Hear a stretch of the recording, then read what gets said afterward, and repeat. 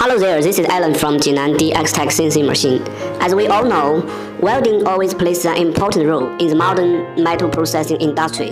Yet combining with the ever-advanced laser technology, it's becoming even more productive and sharp.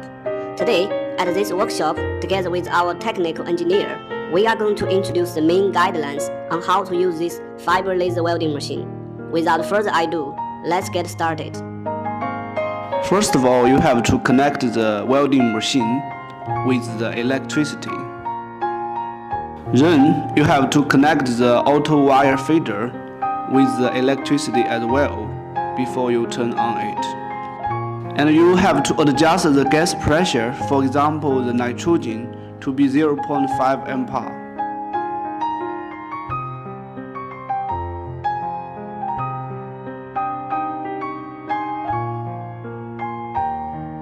Then you have to load in the circuit breaker, turn on the key switch and the emergency stop button of the machine.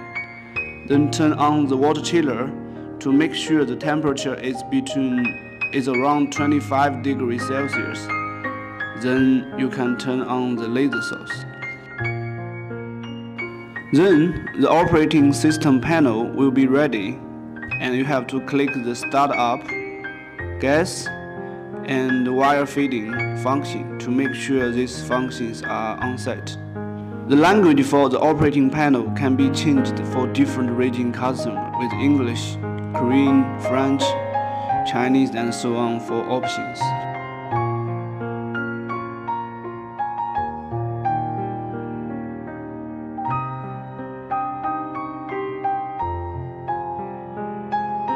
This is a device for auto feeding the wire for welding.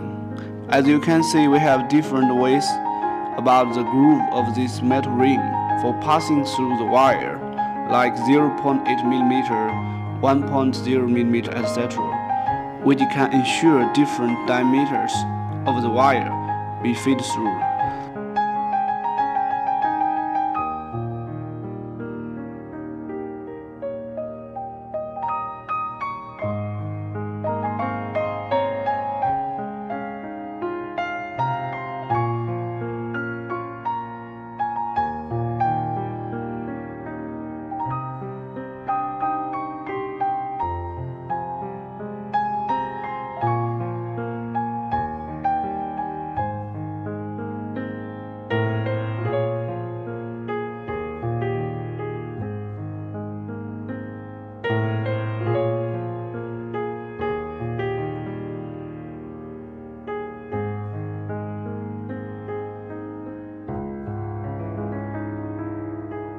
Then you have to let the wire go through the metal holes all the way from the right side to the left until it comes to the welding head side, ready for welding.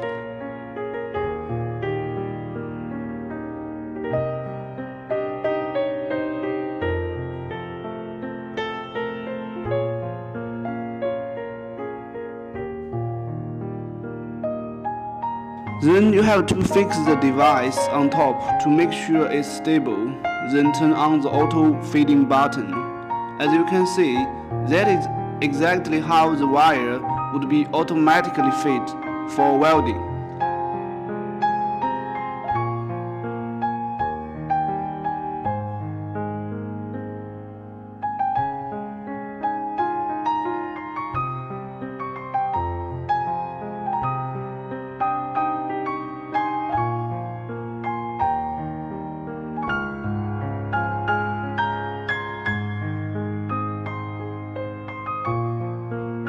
When the wire come outside near the welding height to be ready for welding, you also have to do the last setup.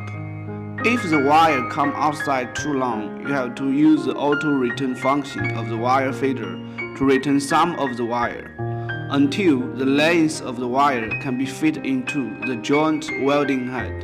Then you let the wire go through the thin metal tube which downside the welding head. Then screw and fix it.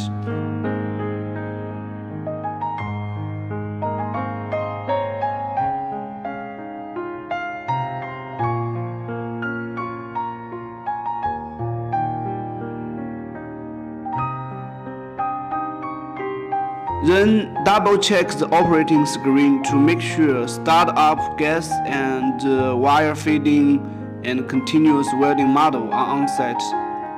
Then clamp the conductive wire clip before you can start the real welding process.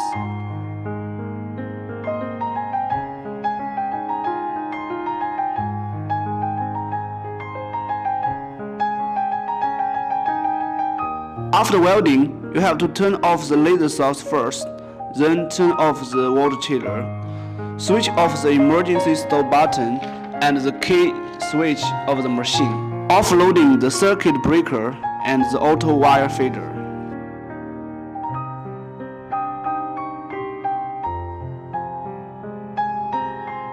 Okay, the above are the main steps on how to operate the fiber laser welding machine.